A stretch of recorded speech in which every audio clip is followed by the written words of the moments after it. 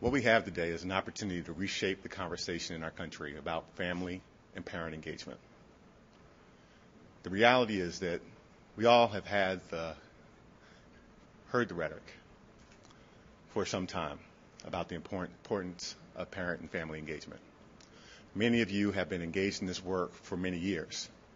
But what we recognize is that as a country, we have failed to actually put together the systems and supports that allow us to actually achieve our goals for getting families and parents in their students' academic lives and in our schools.